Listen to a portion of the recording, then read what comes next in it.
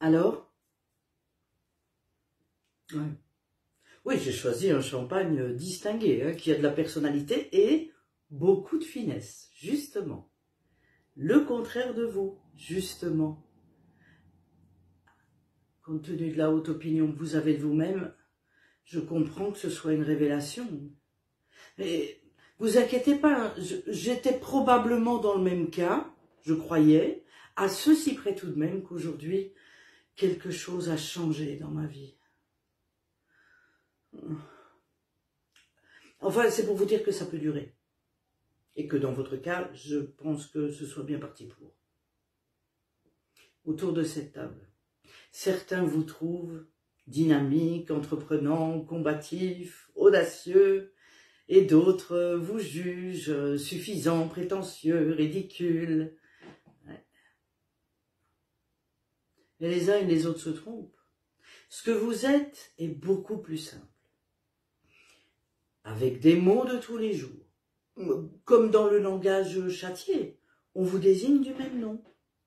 Vous êtes un con d'une espèce rare, je le reconnais.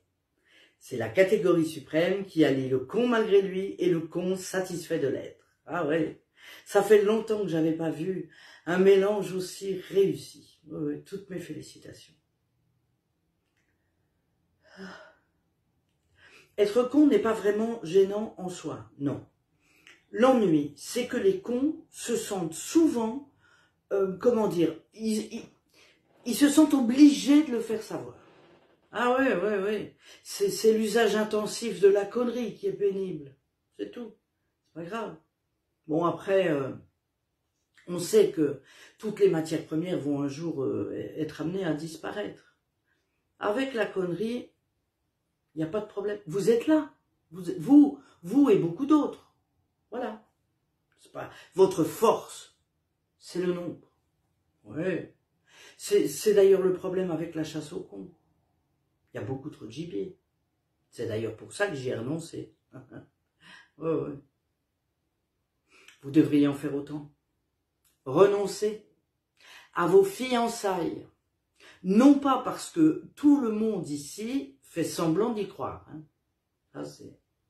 mais parce que vous êtes indigne. Indigne de Valentine.